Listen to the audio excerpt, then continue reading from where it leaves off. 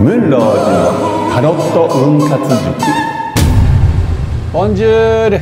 さあえーといよいよねエレメント別の2023年上期占いですけどもほらここに船堀インコちゃんが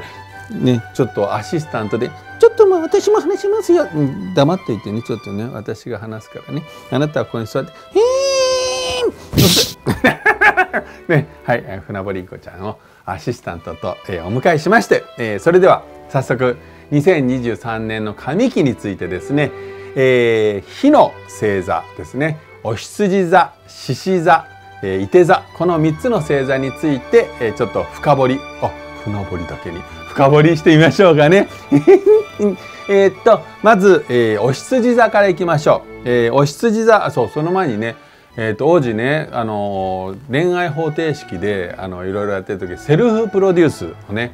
もっと深掘りしてほしいってあの言われたんでね「船堀さんどうしましょうね」って言ってるセルフプロデュースっていう視点からねちょっと今回アドバイスをねちょっと膨らませてみようと思いまして、えー、オリジナルのねセルフプロデュース術の中にちょっとアドバイスを組み込んでみました。えー、初チャレンジなんでね、まあ、皆さんねあのご意見ご要望ねいろいろねお寄せくださいね。えー、そもそも星座とタロットっていうもう、まあ、水と油みたいなものを今ガチャって組み合わせたわけですから、えー、どういう化学反応を起こすかね、えー、皆さんも実証して半年後に「あ実すごい」とか「全然当たんねえ」とかねいろいろ言っていただければね、えー、といいと思うんですけども、えー、まずお羊座ですけどもお羊座は、えー、前回のね、えー、と番組で、えー「男性は剣の王様道を開け」女性はカップの女王女らしさ愛情優しさが大事よ思いやりが大事ですよって女を磨けみたいなそういう部分がねありましたけども、えー、ちょっとね、えー、年年をね通してみるとですねえー、ちょっと第何週って言い方しますんで後で、えー、調べてください。えー、第1週と第9週と第19週この3つにね死神と悪魔というね厳しいカードが入ってましてここがガクガクと落ちるんですけども、えー、意外とねいいカードがねいい感じで入っててそれをねばらすんでそんなに落ちずにグイッと戻してくれるんで、えー、678とね3ヶ月にわたっていい時期が続くんですよ。えー、6月の、えー、最終週がさっきの、えー、9週目になって等でぐっと落ちるんだけどその後ねまたぐいぐいと上げて、えー、最初の出だしがいきなり死神なんでボトムから始まるんですけどもその後ぐーっと上がっていってちょっと下がるけどもうずっと上がってで最後、えーと、あくまで落ちていくんで、まあ、9月以降は知ったことじゃない、まあ、これまあ半年なんで9月以降は知ったことじゃない。でまた次回に委ねるとしてですねちょっとボットスタートはちょっと、えー、あのちょっとスタート悪いところからスタートするんですけども6月ぐらいから5月の最終週からぐっと8月いっぱいまでねすごく続いてますんでいいカードがどっとねいい感じであの続いてくれてるんで私はあのお羊座は今年この半期はねかなりいいと思います。だから剣の王様は道を開けと出てますけどもえっ、ー、とセルフプロデュースでね、えー、ちょっと、え、グラフにしてお見せしますとこんな感じなんて言ってね、えー、まず、えー、男性はねえー、はあのほらセルフプロデュース八角形がありますよね。あのマトリックスですけど美お金野生趣味社交情知性性。ね。この8つの何を気をつけたらいいかということですけど。おか男性はですねお金と野生と社交。要は人とのつながりが大事で野生味ね。やっぱ生き延びていく力と。あとこれよ金ね。ね。これがやっぱ剣っていうのは道を開くていうそういう意味なんでまあだから仕事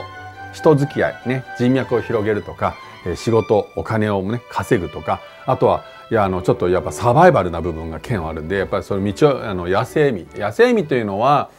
やっぱりその安住しないでいろんなものにチャレンジしていくっていうその、えー、安定思考よりもチャレンジうんまあ、実際にあの今年の全体を占っても脱出とかありますし実は678って意外といい月なんですよ私のあの今年の全体の占いでもね。その中でまさにお羊座ってそれぴったしはまってますんで、えー、678にできればね何か新しいことね始めてください。ね、えー、まあ転職はもちろん一つ大きなチャレンジになりますけど引っ越しでもいいし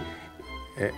離婚？離婚？はちょっと新しいチャレンジじゃないからまあちょっとねあの新しいことになんかそれもポジティブな形でね道を開く方にこの剣を使ってほしいし女性の場合はですね今度は美美しさと女性らしさの情愛情とあと趣味をねちょっと持ちなさいってことでやっぱももし趣味を持っていればそれをもうちょっとねあの没頭しなさいってことでやっぱり美容美しさね見た目の美しさとあと情ね人に対しての優しさ思いやりとあと自分を磨くために趣味をこれがカップの女王の示すもので、えー、この3つをねちょっと意識して、えー、取り組んでみてください。なあの羊座はねとても、えー、この半年楽しみなので、えー、ぜひあのチャレンジ男性はチャレンジね女性は女を磨くということにね、えー、ちょっと注意してください。さあ、えー、続きまして獅子座ですけども獅子座は、えー、前回のね放送では法皇様とえ棒の女王って言いましたけどね法皇様っていうのは教会のトップの、えーまあ、聖職者ですよね、えー、優しくて思いやりがあって愛情があってでしかも弱い人に手を差し伸べる慈悲深い男性というのがこの法皇様の意味なんですけども獅子座っていうのはそもそも獅子って言われる王者の風格があってまあエンペラー皇帝みたいに人を引っ張っていくそれも獅子なんですけどでも獅子座にはこの弱い人に手を差し伸べるその王者のあの施しなんですけどそれ気持ちがあるんでこの鳳凰の部分を持ってるんですよ。でこの半年間は獅子座は人をいたわる人のために何かしてあげるっていうそういう部分に、えー、気持ちを持っていくといいあの半年になりますよということと女性の場合もね棒の女王棒というのは火をつけると燃える情熱なんで情熱を持ったパッションの強い女性なんだけどこれも世話好き面倒見のいい、ねえー、女性なんでこれも人のために、ね、何かを情熱を注げて人のためにやるなこの法王棒の女王っていうのは自分よりも他人を優先するっていうところが共通してありまして獅子座のこの半年間は、えー、人のために何か一つねいいことをした方がいいですね。えー、悪いカードは第6週と第1314週に出てましてこの6週というのがですねちょうど5月の終わりから6月の頭にかけてでこれここに悪魔が出てましてそして1314とね死神タワー塔がね死神と塔タワーっていうカードが2週連続で出てねここでぐんぐんって引きずり下ろされるんですけどその後ね8月ググググって盛り上げて9月にもう一回ね上に登っていくっていうねとっても不思議な動きをしまして579この3飛び飛びの3ヶ月です。これがね意外といいカードがねあのそのボトン落ちたのをぐいぐい引き上げてくれる感じでありますのでまあ5で何かをねやって79と続けていくのも一つだし5と7と9でそれぞれね何かちょっと新しいことをねやってみる手もあるし。何かまあボランティアっていうとちょっとあの言葉が強すぎますけど何かやっぱり人のために何かやるっていうことにね意識を向けると、えー、開運になるかなと思いますね。えー、獅子座の、えー、男性の法王はですね、えーと、先ほどのマトリックスで言うとですね、えー、知性と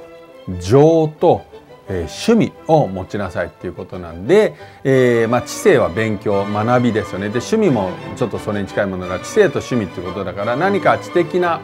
習い事、ね、頭を刺激するような習い事を始めるのもいいし、えー、なんかそういう趣味をお持ちでしたらそっちの方にねちょっとまあ知的と趣味が違ってもいいんで趣味がお持ちだったらそっちをちょっとね、まあ、楽しむでもいいしでそこに、えー、情。情っていうのは他人に対する思いやりですけどそこをまあ、その3つがねちょっと獅子座の男性のキーワードで、えー、女性は棒の女王で美美ですね。美しさと、えー、情と、えー、社交性、ね、人との人といろんなところ出歩いていて人と出会う、ね、人人の人との出会いを大事にするということで美と愛情と社交この3つをねちょっと、えー、心がけて、えー、過ごしてみてください。さあ、えー、最後の伊手座ですけども伊手座は、えー、男性はエンペラー皇帝ですねそして女性が女教皇となりますね先ほどの法王と棒の女王のもうちょうどひっくり返ったような状態で法王様は人のためにですけどエンペラーは自分が人責任って人を引っ張っていくリーダーシップ。まあ伊手座っていうのはそもそも上が弓矢で下が馬ですからどんどん先に行く、えー、星座な性格なんでまあそれがエンペラーなんで人を引っ張っていきなさい。人より先に進みなさい。という感じで、えー、女教皇はですねあのちょっと、えー、先ほどの棒の女王とか女帝のとは逆でですね、えーと、サバサバとしてドライでもう知性とか、えー、仕事にすごく頑張るっていうカードなんで、えー、やっぱ学びね習い事とかもしくは仕事に、えー、ちょっとぼぼまあ、ちょっと恋愛よりはそっちにが、えー、テーマみたいな感じに、ね、なってます。えー、悪いカードはね、えー、第3週と第5週と第20週に出てまして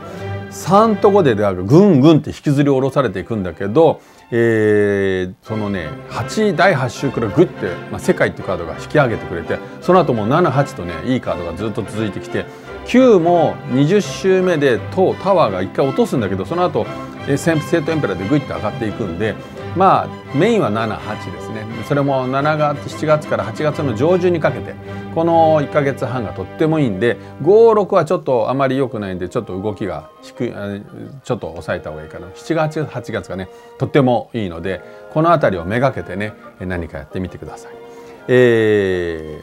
ー、伊手座はですね、えー、先ほどのマトリックスで言うと、えー、男性はお金ね、えー、セックスね、えー、まあ、性の魅力ですよね。いわゆるあのセックスアピールってことでセックスしろってことじゃなくてセックスアピール。いわゆる性的な魅力異性に対する魅力ってことでね。あとは、えー、社交性。この3つがエンペラーの求めてるものなので金と性と社交。この3つをちょっと意識して、えー、性というのはやっぱり洋服を着るのをなんかやっぱり男らしい格好というか異性を意識した格好、ね、に、えー、をするとかやっぱり何か出会出歩くところも男ばっかりいる場所じゃなくて女性のいる場所に出歩くとか、まあ、性というのはちょっとそういう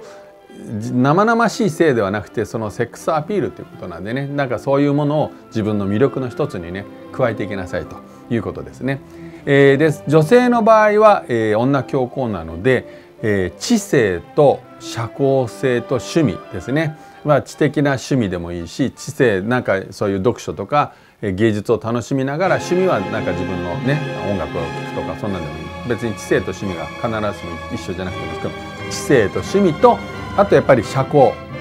人との出会いとか人がいる場所に、えー、出ていくということが、えー、いいんじゃないですかね。